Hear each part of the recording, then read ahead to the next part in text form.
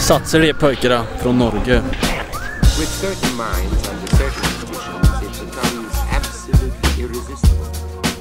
I am not more certain that I breathe than that the assurance of the wrong or error of any action is often the one unconquerable force that impels us and alone impels us to its prosecution.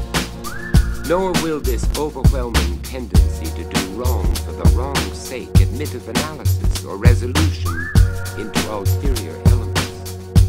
It is a radical, a primitive impulse, elementary. Love.